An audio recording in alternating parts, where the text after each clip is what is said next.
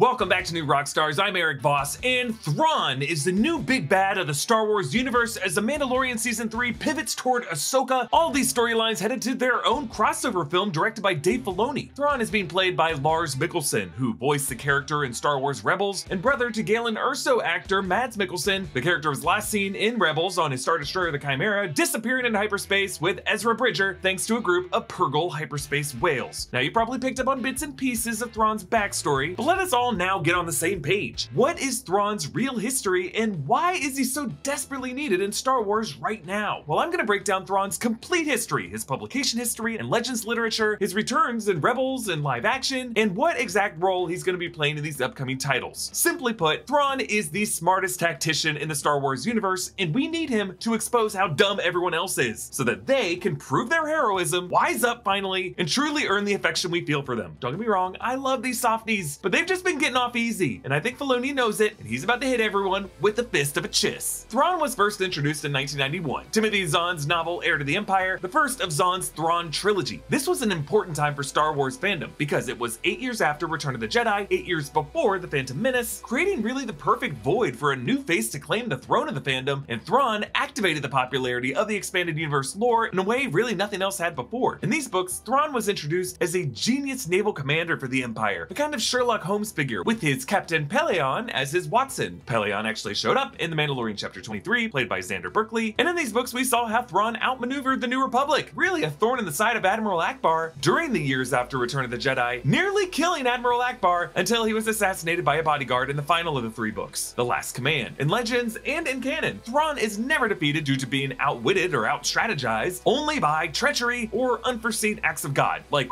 hyperspace whales. Now, sometimes these sponsorships are me talking about hair care, but to even get to caring about your hair, you gotta hang on to the hair that you got. And that's what Keeps is for. Keeps offers clinically proven research-backed treatments to stop hair loss and improve hair growth. Two out of three guys will experience hair loss by the time they're 35, but with Keeps, you can get quality expert care without ever visiting a doctor's office or a pharmacy. All Keeps treatment plans are recommended by a licensed medical provider and delivered straight to your door at about half the cost of a traditional pharmacy. Each treatment plan comes with a full year of unlimited messaging so you can connect with your medical provider about anything, anytime. Keeps has a network of expert medical advisors, prescribers, and care specialists to support you in making your hair goals a reality. Whether you're looking to prevent hair loss, stimulate hair growth, or just take better care of the hair that you have, Keeps has you covered. Hair loss stops with Keeps. To get a special offer, go to keeps.com slash new rockstars or just click the link in the description. That's K-E-E-P-S dot com slash new rockstars. So in 2015, Disney bought Lucasfilm and they recategorized all expanded universe fiction as legends and thus non-canon. But in the years since, Dave Filoni and his story group have gradually begun to recanonize Legends elements in titles like Rebels, The Mandalorian, The Book of Boba Fett, and Ahsoka, and Thrawn naturally was the first of these, brought in as the primary antagonist in Rebels Season 3 and Season 4. And from here, a broader range and a new generation of fans began to understand how truly great Thrawn is, as an Imperial Grand Admiral during the Empire, chasing down the crew of the Ghost on Lothal, as he used this planet as a base to build his new TIE Defenders. His hope was to construct the fleet of fighters with better shielding, and had he been successful, the rebels would not have been able to destroy the Death Star in the Battle of Yavin, Tarkin would have blown up the rebel base on Yavin 4, and that would have been it. That's part of the reason Thrawn is such a threat. He is the smartest guy in the room. Had he not been zipped away to hyperspace, the rebels probably would not have won. So during this rebels era, viewers got to see how he's able to decode his enemies by learning about their culture through their art, as is the case when he captured Hera Syndulla and appreciated her Twi'lek art. To defeat an enemy, you must know them.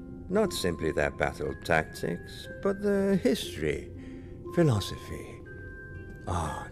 He was also able to get inside Ezra Bridger's head by just learning more and more about his background on Lothal. Really, his intelligence comes from a new canonical backstory outlined in a new trilogy of Thrawn books, Thrawn Ascendancy, and they brought back the amazing original author Timothy Zahn to do it. This details Thrawn's backstory. Here, he was born on the planet Rentor in the unknown regions, birth name Kivu'raw'nuru, core name Vurawn, the Chiss race do this really cool thing of abbreviating names from the inside out as opposed to taking the first part, which definitely says something about how complex of thinkers all the Chiss are. They think of everything holistically from the inside out. He later took on the name of Mitth'raw'nuruodo or Thrawn, and he was an officer for the Chiss Ascendancy, which was a smaller empire ruled by an oligarchy class of Chiss. During the Clone Wars, Thrawn actually briefly worked with Anakin Skywalker on a mission on Batuu, that's the setting of the Black Spire outpost in Disney's Galaxy's Edge. When the Clone Wars ended, Thrawn offered his services to the Empire, believing that it would benefit the Chiss. In reality, Thrawn joined the Empire with dual loyalties, actually intending to learn as much as he could about the Imperial weaknesses and their overall strategy so that he could use it to help his home race of the Chiss. But Thrawn quickly rose up the ranks and was granted the title of Grand Admiral by Palpatine himself, which was a huge deal because the Empire was known to be xenophobic and only promote humans to high-ranking positions. So like compare all the admirals and moffs and generals that we know the Empire to the folks who lead the rebels, non-humans like Admiral Raddus, Admiral Ackbar, Hera Syndulla. So for Thrawn to rise past all of that as a Chiss shows how respected he was. Thrawn Ascendancy also shows how Thrawn was able to deduce that Darth Vader and Anakin Skywalker were the same person. In one moment, Thrawn says tellingly, many years ago I served briefly alongside General Anakin Skywalker, and Vader uses the Force to try to read Thrawn's mind, but finds Thrawn's thoughts closed off to him.